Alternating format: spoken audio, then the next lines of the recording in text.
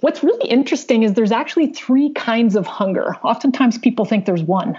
when people say I'm hungry. Yeah, I didn't know that. Yeah. Our first question as uh, dietitians in our practice is well, what kind of hunger are we talking about? Because different types of hunger have different types of needs. And so um, this work actually comes from a colleague, uh, two colleagues of mine, um, Dr. Colleen Cannon and uh, dietitian Wendy Shaw from Craving Change. And uh, we teach their cognitive behavioral approach to eating in our practice because it's very practical. Um, people get it and uh, this you know aspect of the three types of hunger comes from um, from that program. So uh, number one, first type of hunger is what we call um, stomach hunger, and stomach hunger is kind of predictably, you know, true physical biologic necessity to eat. So this is like the stomach rumbles. This is like it's been hours since I've eaten. Um, this is like anything is appealing right now, you know, including you know carrot sticks. I'll eat anything because I'm starving. I need food. Perfect time to grocery of, shop. never a good time to grocery shop. Well, you might get some good stuff, but extra things come into the cart too. Um, anyways, so physical stomach hunger, of course, the way we meet that kind of hunger is, of course, eating really healthful foods. This is the best time to think about planning our three components of the balanced meal. Um, it's like, yeah, you could eat junk foods and sweets and treats here, of course, but um, healthy foods will taste really delicious here. And this is where we want to start um, because that's the best way to address stomach hunger. Now, the second type of hunger um, is what we call mouth hunger. And mouth hunger is actually more related to sensory properties of food or more related to cravings for foods. So this is, for example, for me loving chocolate, this is like I love like the whole mouth feel of the creaminess of chocolate. Or if you're an ice cream lover, it's like you like the cool like creaminess.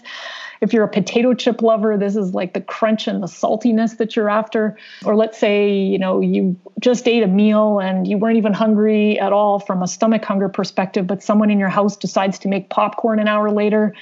Um, now you smell it. So we've got a sensory trigger for aroma going on now in the house, and you're like, ooh, I need to eat some of that popcorn.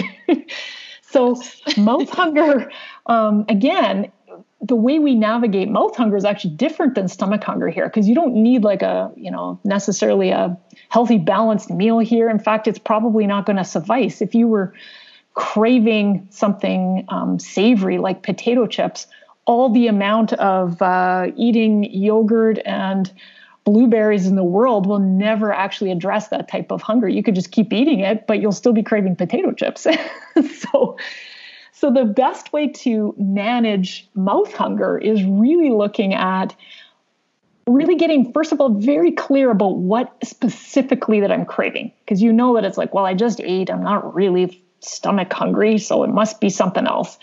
So, if you spend a little bit of time in sort of a mindful eating exercise of really thinking about is it sweet or is it savory? Is it, and if it's sweet, are we talking like, is it like chocolatey? And if it's chocolatey, are we talking like real chocolate or could like hot chocolate do the job? Or are we talking about chocolate ice cream or chocolate chip cookies? All of those are very different cravings. Um, same thing, you know, once we get into the savory department. So the more you can really distill down what specifically you're craving, um, the less likely you'll be to what I call chewing around the craving. People will sort of go through their pantry and start sampling a bunch of foods, and they're like, no, that didn't do it had an apple, that didn't do it.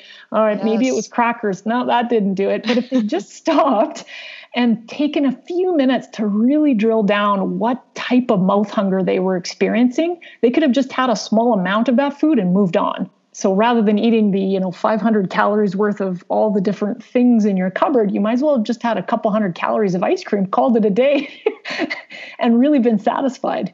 So that's how we address mouth hunger most effectively is getting really clear on what it is and then allowing yourself permission to enjoy that food soulfully, joyfully, um, blissfully, mindfully, all of the words.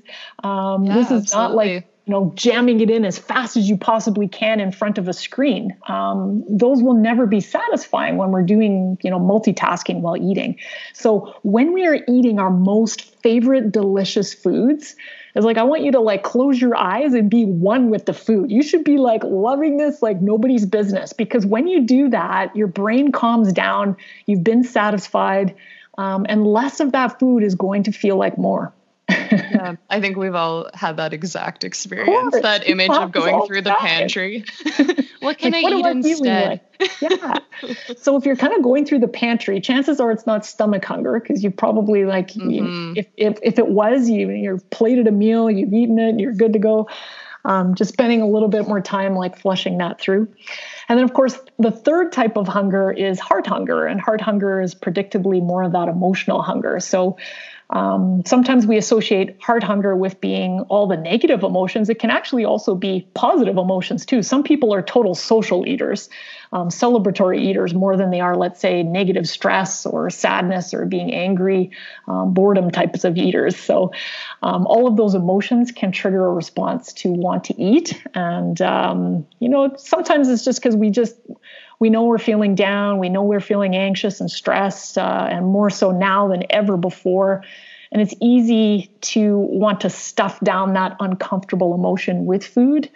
And of course, sometimes it helps a little, but if we're really honest with ourselves, um, we just we can never you know manage those emotions effectively with food that's where we need to start thinking about okay how can i comfort myself without food in a different way that might be more effective because food will help me for the next 20 seconds while i'm eating it and then it's going to be left with feelings of like you know well that didn't really help and this same anxious depressed feeling is still with me and now i feel even worse because i was eating too much so Mhm. yeah. So spending a little bit of time um, not in like your worst state of mind. I usually encourage people to do a little bit more reflection early in the day when they're a little bit more positive maybe feeling a little less burned out and beaten down by the day. Um, but really reflecting on like how can i comfort myself without food? And thinking about you know the the easiest and the i would say affordable ways that you could do that